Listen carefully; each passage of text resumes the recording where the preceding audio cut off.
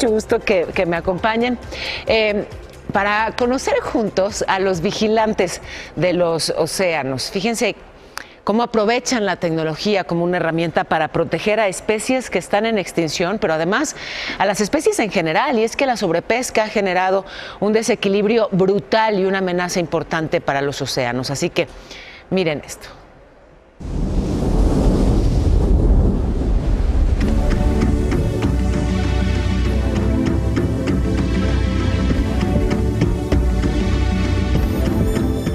Ellos son vigilantes de los océanos, de México y del mundo, ayudados no con armas letales, pero sí con artefactos tecnológicos.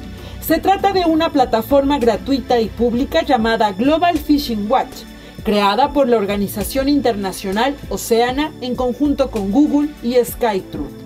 Esta herramienta permite el monitoreo satelital de las actividades pesqueras de más de 70.000 embarcaciones alrededor del mundo. Esta es una plataforma la cual permite visualizar todas las embarcaciones que tienen sistemas de monitoreo satelital y registrar la pesca comercial a nivel global. En México, gracias a esta plataforma y a sus vigilantes, que pueden ser cualquier ciudadano con acceso a Internet, se cuidan las áreas marinas protegidas en donde cohabitan especies únicas y también algunas en peligro de extinción, como el cachalote y el delfín moteado. México pues cuenta con 37 áreas marinas protegidas. Esto en términos de extensión es muchísimo, ¿no? Es más que el estado de Sonora, Chihuahua, Sinaloa y Nuevo León juntos. Por lo que su vigilancia y monitoreo son fundamentales para combatir la pesca ilegal y el saqueo.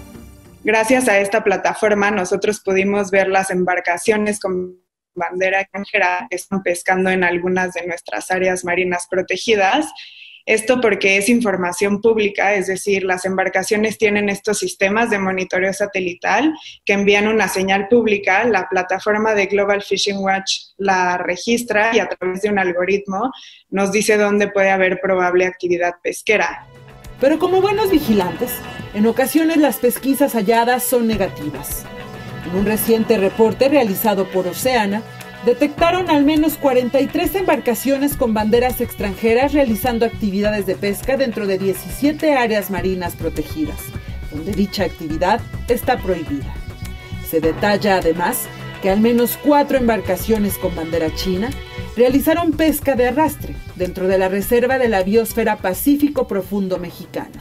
Es de gran importancia porque se encuentra a 800 metros de profundidad y aquí hay montañas, eh, de biodiversidad, ¿no? A la mitad del océano en las profundidades, porque es poco selectiva. Es decir, que va una red arrastrada por una embarcación y se capturan muchísimas especies que no son la especie objetivo.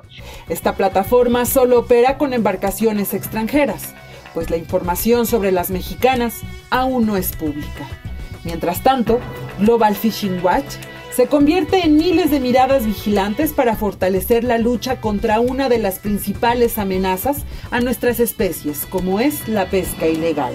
Areli Melo, al aire con Paola. Y bueno, todos los esfuerzos eh, que se puedan hacer para justamente proteger al océano.